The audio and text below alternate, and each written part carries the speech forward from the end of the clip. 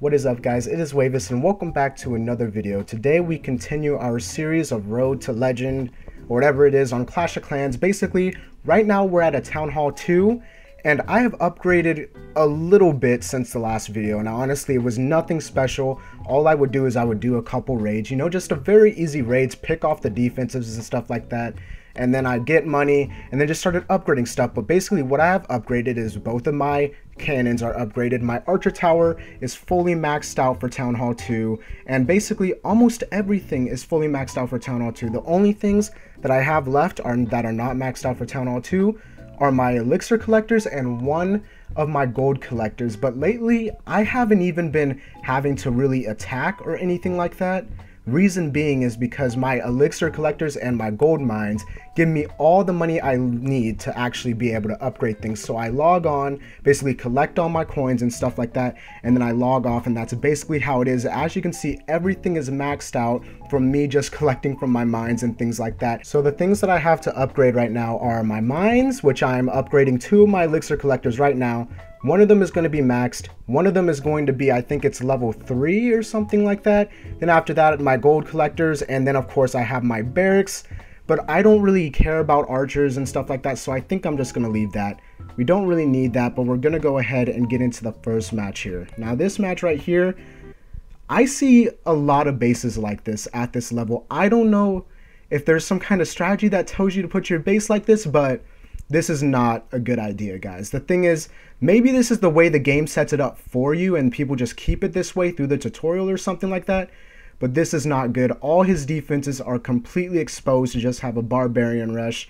And that is exactly what I do right here. Now, it's not that much loot, but I mean, it's a thousand and then 3,000. I probably could have found another one but this this was just a little bit too easy. So I go ahead and just take all of his coins and elixir. I wasn't finding any other matches at the time, so I just thought I would do this one. And we go ahead and we completely, it looks like completely max out on elixir. And as soon as that happens, I go ahead and end the battle right there, just because I don't care about trophies. I mean, I'll get the one star, you know, so I don't lose trophies. Trophies aren't my priority right now. Right now, it is strictly just upgrading my base and everything. We have our barbarians training right now. I skip forward to where they are fully trained, as you can see the last one running out right there. And we are ready to find another match. Again, guys, I don't really need to attack. I'm basically doing it for the series just because I could just collect from my mines because they're basically going to be max now. They were doing me good for the first few times.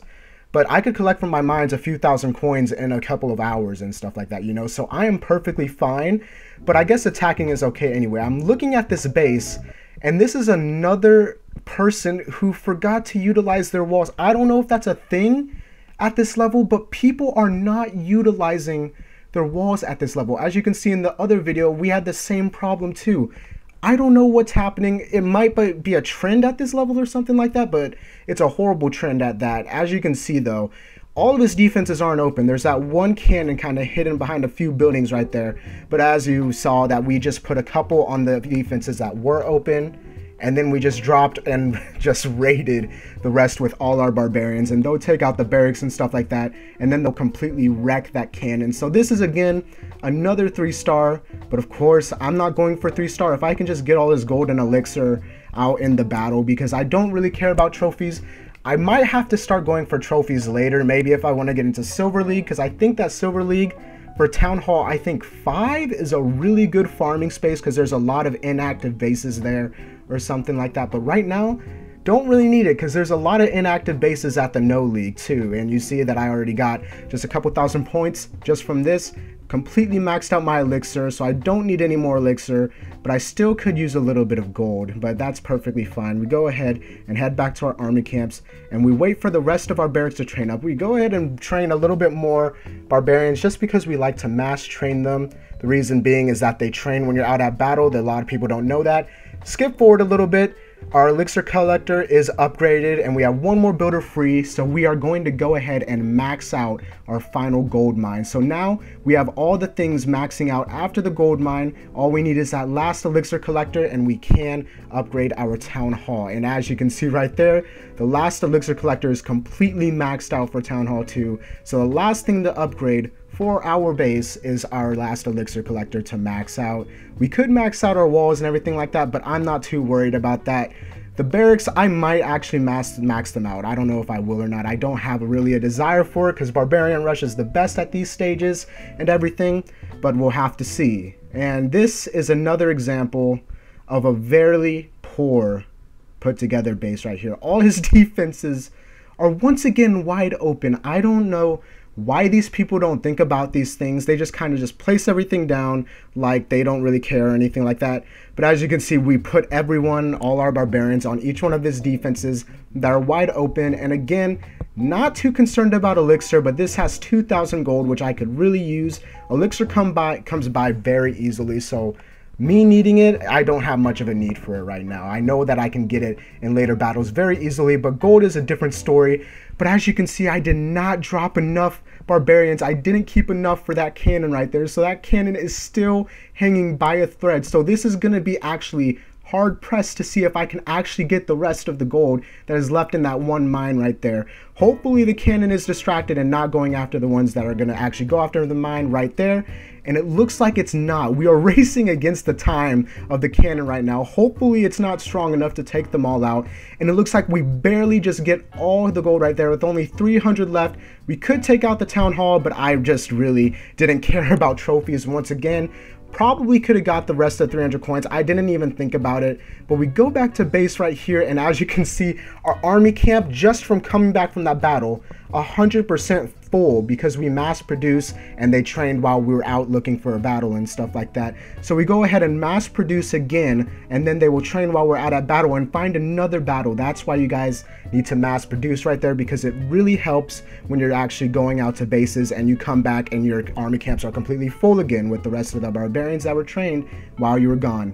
Now this one, this is a different type of base that has a different type of strategy. Usually the ones are like their defenses are wide open and you just swarm them with like five, six, seven barbarians and then take them all out.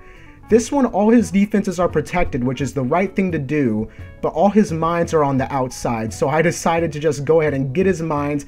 Reason for this is he had 5,000 of each, and as you can see, his basic storages are basically completely full or halfway full at least. And I do know that his mines are completely full as well so I think that there's about half in the mines and I was completely correct and we only needed about 2,000 to max out our storages. So we didn't even need to attack any of the storages to max out my golden elixir so that is basically my reasoning for that. You have to pay attention to that types of things.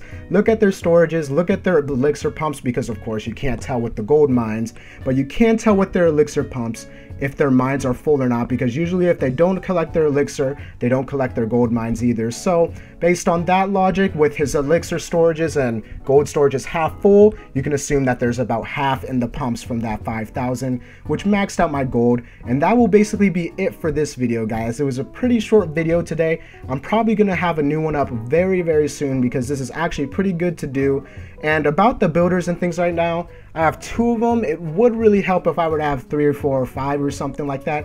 So this is the tactic that I basically decided that I would do. Uh, right now I'm at about 300 and something gems. So what I'll do is I'll keep collecting achievements and things like that. I'll keep on going and just grinding gems, maybe get gem boxes, buy them and stuff like that. Not buy them, but basically collect the gem boxes in my base. And then after that, until we get 500 gems, so I can buy my third builder, which is 100% legit and free, then after that, I'll spend about $10 on the game to get 1,200 gems and then buy my fourth builder for 1,000 gems, which seems like a really good plan to me.